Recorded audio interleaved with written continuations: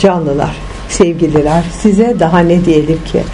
Kur'an insan kodlanmış işgalde dünyanın gücünü artıracak ve bütünün gör, gör dediği o yoğunluk kodlanacak. Sizden çok sizin yürekleriniz dillendi bugün burada ve birlik kapılarının tümünü açtık mutlak kulluktur yaptığımız. Bundan sonraki süreçte daha güçlü bir çalışma devreye giriyor.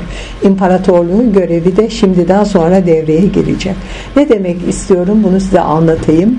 Yeri göğü yaratan insan soyudur. Bunu iyi anlayın. Yer gök insanlıktır ve insanlık devri kapıda imparatorluğun kulluğudur. Bizler dünyalı olarak bu çalışmayı yaparken toprak toplumun tohuma çekilişi devreye girecek. Canlılar arzın gücü yenileniyor. Bu kesin kesindir. Mikail'in görevi de yeniden ve yeniden kodlanıştı. Bu da kesindir. Şimdi artık sistem, nizam ve düzen görevi hak edip dürümleyecek. Yeni dönem hepimize hayırlı olsun canlılar. İşte bu.